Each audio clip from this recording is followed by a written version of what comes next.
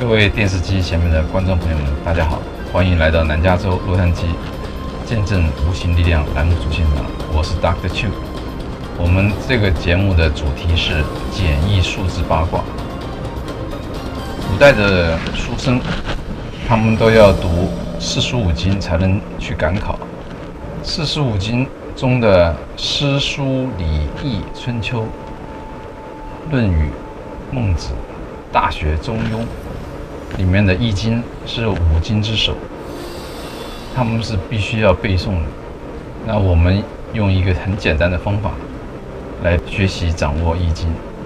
接下来我们来看看这个图表。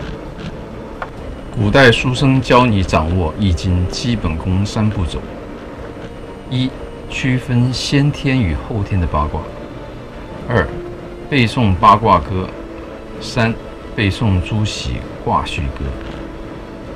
我们可以看到这边有一个，左边是先天八卦，我们主要要掌握后天八卦，因为后天八卦是应用，先天八卦是为体，后天八卦为用。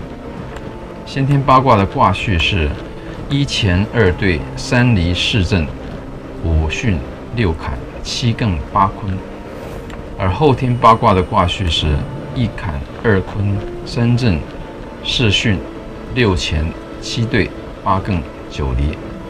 我们可以看出它不同的地方，一个是八位数，一个九位数，它的五摆在中央，所以我们继续往下看。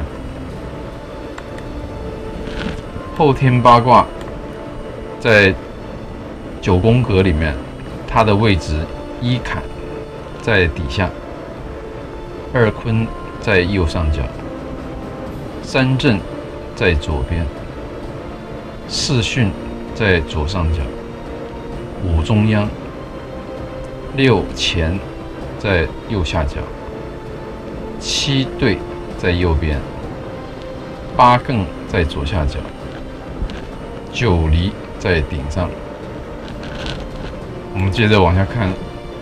八卦歌，要把这个八卦歌背诵起来是基本功。前三连，坤六断，震养鱼，艮复碗，离中虚，坎中满，兑上缺，巽下断。前三连就是三个阳爻，坤六断是三个阴爻，震养鱼。就是像一个仰面的容器，坤复碗，像一个扣在下面的碗，离中虚，中间一个阴爻，坎中满，中间一个阳爻，对上缺，上面一个阴爻，巽下断，底下一个阴爻。第三个步骤就是上下金朱熹卦序歌。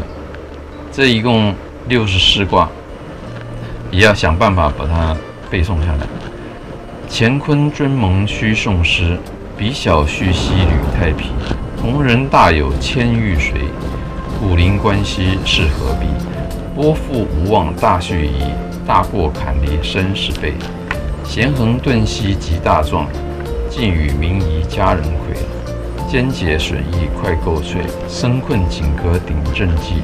更见闺妹风履絮，兑换节兮中孚之，小过既及兼未济，是为下金三十事。我们这个节目的主题叫做简易数字卦。我们学习音乐的时候有五线谱，也有简谱，简谱就是一二三四。我们如果在易经里面简易的学习。深奥的卦理的话，我们可以用数字来代表八卦。变易、不易、简易是周易的三易。一、变易就是说宇宙万事万物都是变化无常的，只有变化才是唯一的不变。二、不易是指变异中还有不变的道理，变的是现象，不变的是规律。